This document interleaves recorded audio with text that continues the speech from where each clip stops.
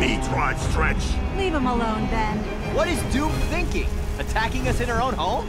Doom is one of the smartest people on the planet. He knew the only way past my high-tech security was a surprise mystical attack like this.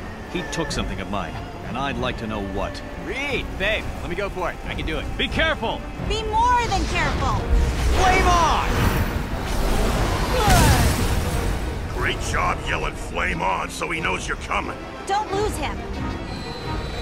Uh, excuse me. He's getting away? I got this.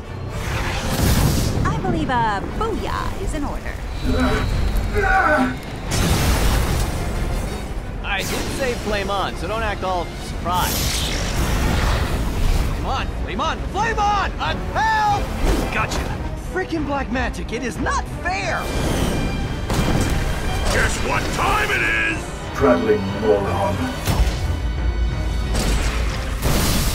You insipid trolls. I was born of... Force field. You're under arrest, Dr. Doom. Do you, uh, have the authority to arrest him, sis? Sure. Why not? You break into our home? You attack us in front of our children? I am your superior in every conceivable way, Richards. You will learn to respect me, even if it's with your dying breath. Speaking of breath, have you tried flossing? Aw, snap! Children.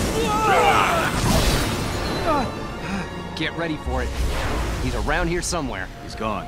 Good. Did he kill himself? Because really, that would be awesome. No one with the ego of Victor Von Doom would ever kill themselves. Well, no, that's true. He took something from me. I know it.